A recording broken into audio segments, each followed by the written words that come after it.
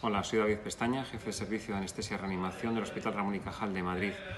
Estamos en Mauritania en calidad de asesores para intentar mejorar el tratamiento de los pacientes COVID. En mi caso me voy a dedicar a los pacientes en las unidades de cuidados intensivos llamadas aquí reanimaciones. En Mauritania existen unos 19 anestesistas reanimadores en total en todo el país, de los cuales 14 están concentrados en Nouakchott, la capital.